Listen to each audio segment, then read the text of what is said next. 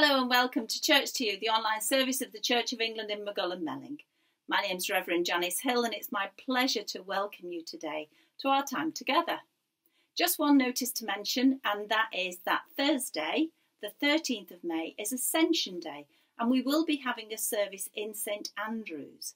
If you'd like to come to that service, you will, of course, need to book through St Andrew's Parish Office. As well as the service on Ascension Day, we have a number of prayer activities because Ascension Day marks the beginning of Thy Kingdom Come, a period of 10 days from Ascension Day to Pentecost when we're invited to pray. So there are a number of prayer activities on our A Church Near You website, but also available on the bulletin as well. I hope you can join in that period of prayer from Ascension Day straight through to Pentecost Sunday. I think that's all I need to mention. Let's just have a moment's quiet before we begin our worship today.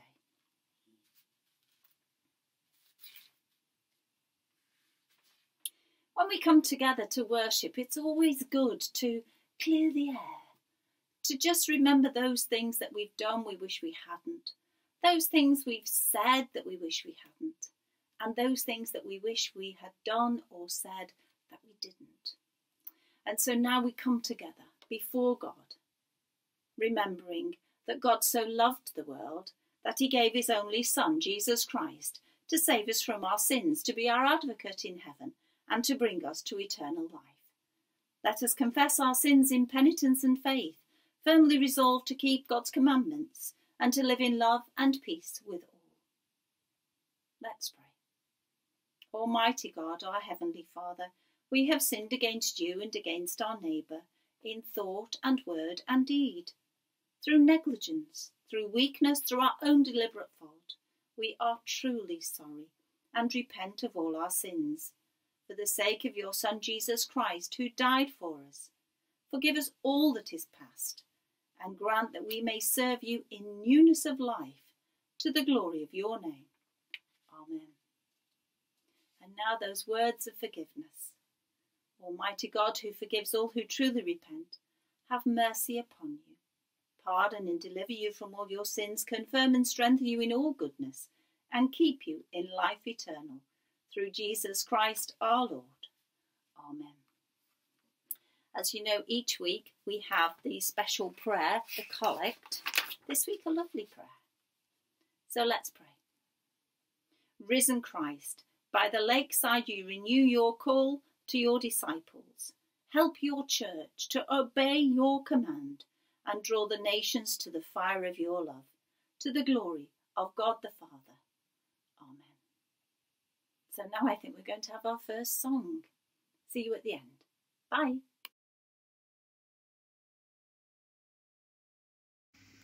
Today's reading is Acts 10, verses 44 to the end. The Gentiles receive the Holy Spirit. While Peter was speaking, the Holy Spirit came down on all those who were listening to his message. The Jewish believers who had come to Joppa with Peter were amazed that God had poured out his gift of the Holy Spirit on the Gentiles also. For they had heard them speaking in strange tongues and praising God's greatness. Peter spoke up. These people have received the Holy Spirit just as we also did. Can anyone then stop them being baptized with water? So he ordered them to be baptized in the name of Jesus Christ. Then they asked him to stay with him for a few days. This is the word of the Lord. Thanks be to God.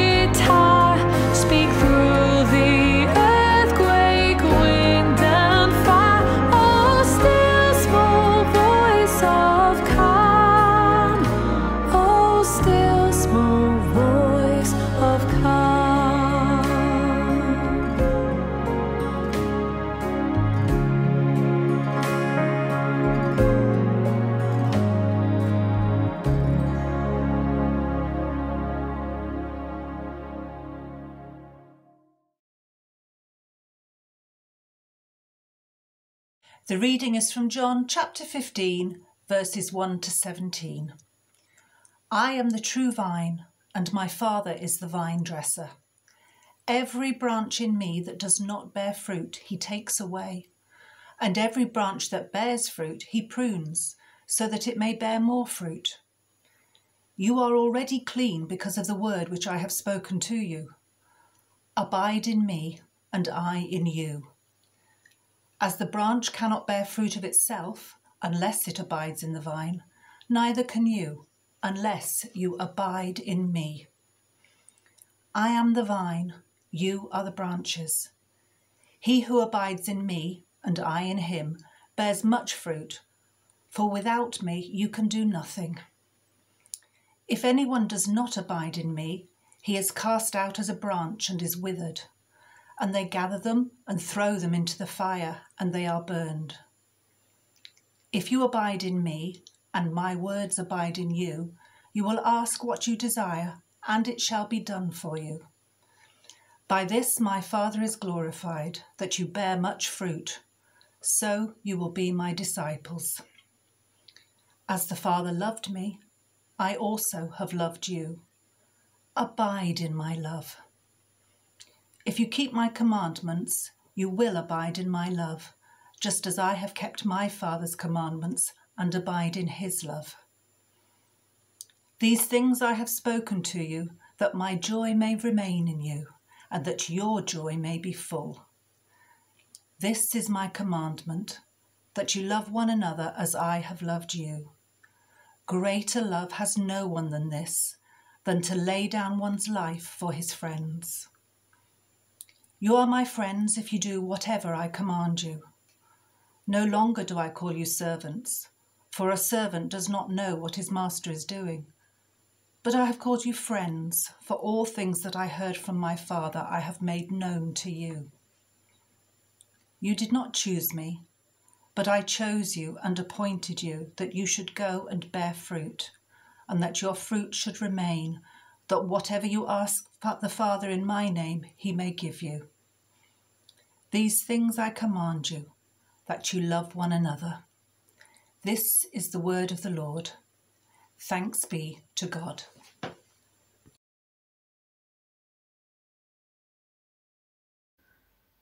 Let's pray. May the words of my mouth and the thoughts of all our hearts be acceptable in your sight, O Lord, our strength and our Redeemer. Amen.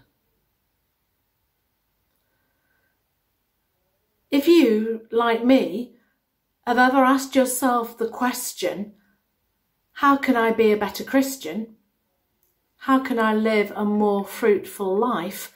Today's Gospel reading gives a clear answer from the lips of Jesus as he speaks of himself as the vine, his Father as the gardener or vine dresser, and his followers as branches of that vine.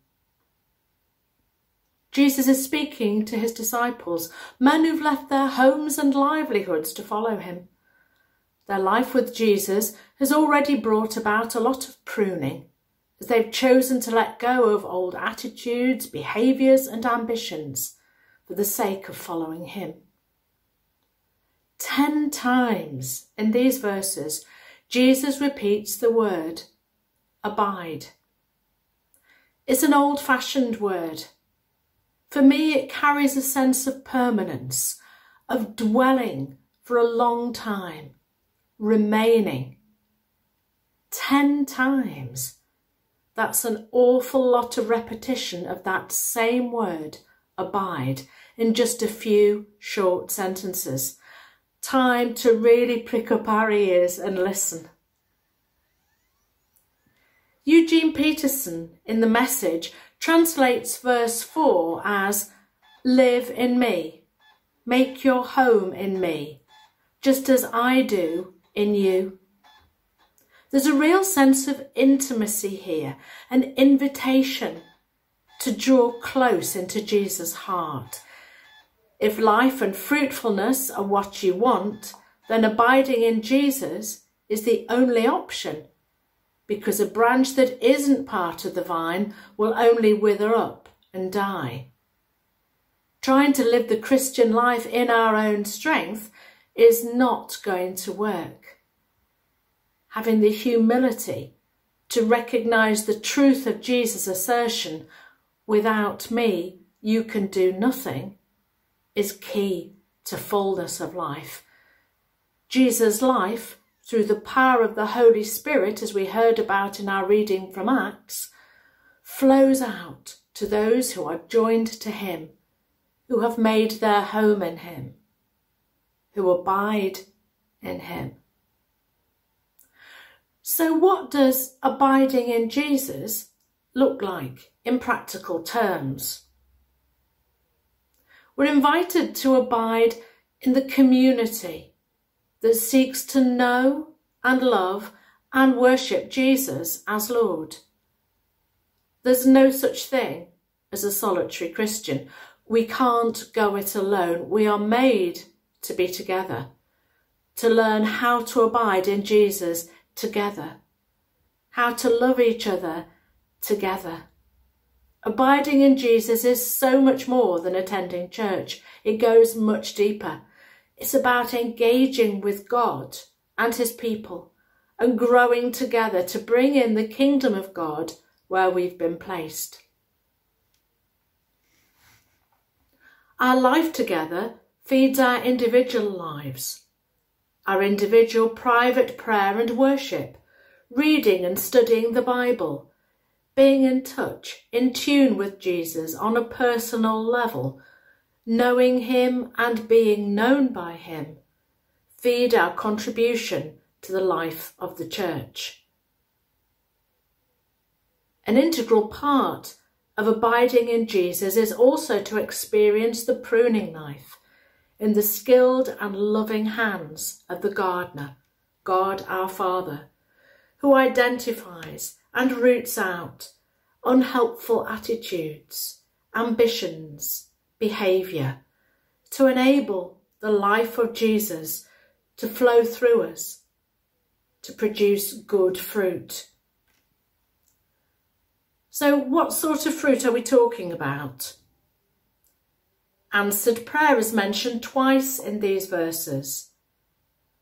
As we make our home in Jesus, as we read and digest his words given to us in the Bible, so our prayers come into line with what he wants for us, for others, for the world. So we can pray with confidence, knowing that our prayers are heard and that there will be an answer. As we abide in God's love, so the desire to do what he says, to obey him, will grow. Jesus' commandment couldn't be clearer, couldn't be clearer. It's a command, not an option. Love one another as I have loved you. The command to love is given us by the one who's done everything that love could possibly do even to the extent of dying for us. And he's shown us how to fulfill that command. We make our home in him. We pray for his help, his strength, his love to flow through us. Of course we'll fail, but we come back to him to confess our shortcomings and to ask for forgiveness and a fresh start. Because apart from him, we can do nothing. Abiding in Jesus is how we stand firm and strong, how we live each day as we face the joys and trials that life will inevitably bring. Joy, fruitfulness, fullness of life. These are what Jesus desires for his people. Joy, fruitfulness, and fullness of life are what he longs for, for a needy world to know too. As we see such need around us, family members, friends, neighbours, colleagues, not to mention the situations we see on our TV screens daily, folk bruised and battered by life. Can we respond afresh to Jesus' command to love one another? Secure in the knowledge that as we make our home in Him, as we abide in Him, He can bring about fruitfulness in our lives, fruit that will make a lasting difference for the good of those around us. Amen.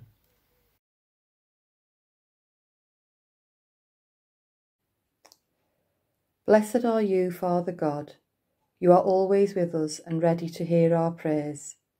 You have called us by our name, and you wait for us to turn to you, and you seek to fill us with your Spirit. We give thanks for all who have revealed your love to us through prayer and helped us know your presence. We give thanks to all who minister in your name. May we share in the ministry and outreach of your church to make your love known to others. Lord, in your mercy, hear our prayer. Father God, we bring before you all the troubles and sadness of our world, and we pray for all who have lost their way or turned away from you, and for those who are unaware of your presence or love.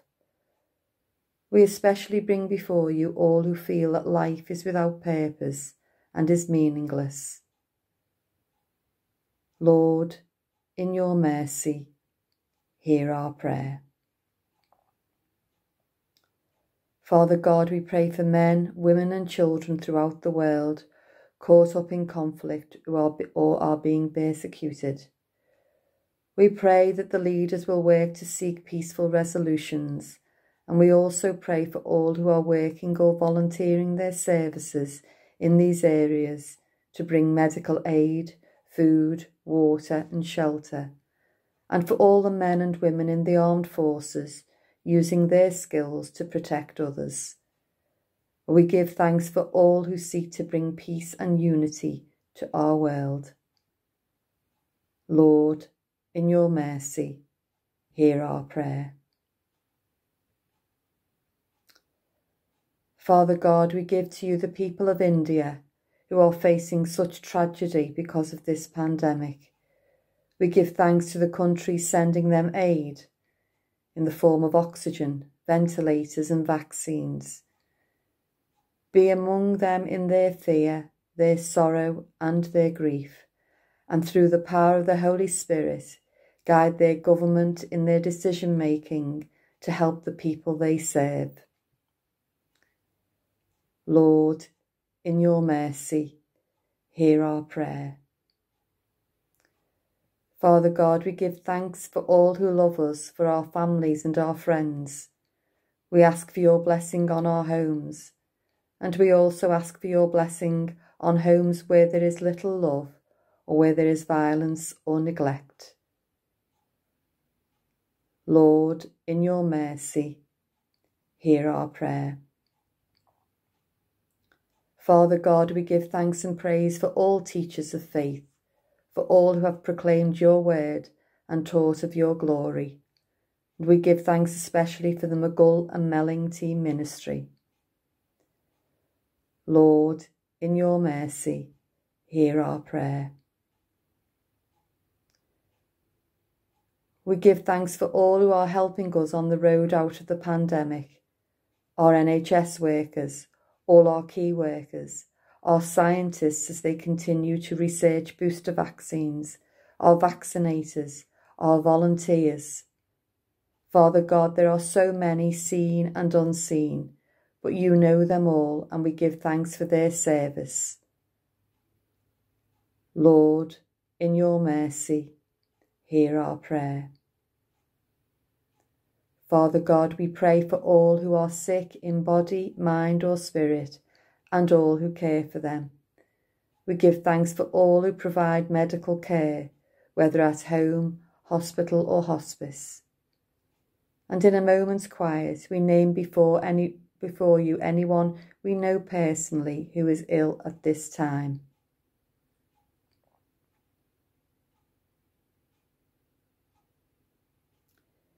Give them courage, hope, and peace and the knowledge you are present in their weakness, pain, and suffering.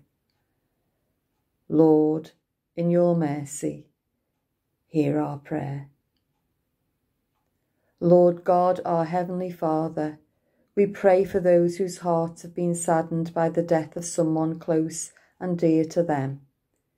Give to them the strong comfort, surround them with your love at this difficult time. Lord, in your mercy, hear our prayer.